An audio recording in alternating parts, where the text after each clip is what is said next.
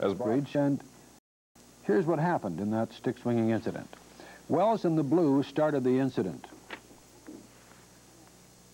You see it coming up right here. First, a butt end in the face, well out of the play, and then a slash. Tinordi responded, and with and the ugly incident was underway. It was soon one-sided. Wells going after Tinordi with two-handed swings, one of which broke Tinordi's fingers. The slashes out of the head as Tinordi tried to get away.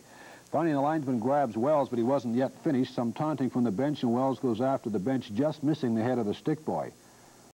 Wells' self-control is well documented. He was suspended for 13 games last season and has 10 more this season, two suspensions for eye gouging.